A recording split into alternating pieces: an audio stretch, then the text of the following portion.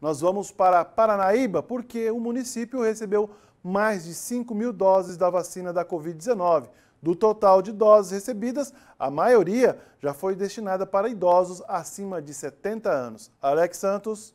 Conforme dados do vacinômetro, ferramenta utilizada pela Prefeitura de Paranaíba para divulgar o número de doses e pessoas vacinadas contra a Covid-19, o município já recebeu até o último sábado um total de 5.196 doses do imunizante.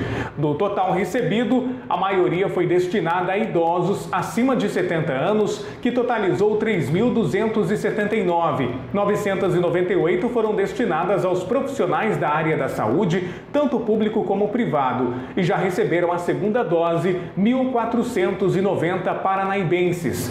No boletim ainda é informado que havia um saldo de 468, porém o número pode variar de acordo com o dia, já que a imunização está em andamento e estas doses seriam destinadas para a primeira e também segunda dose.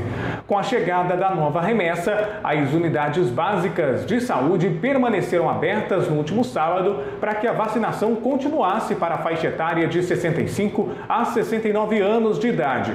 A vacinação tem sido feita via agendamento nas próprias unidades e seguem ao longo da semana também, conforme disponibilidade de doses.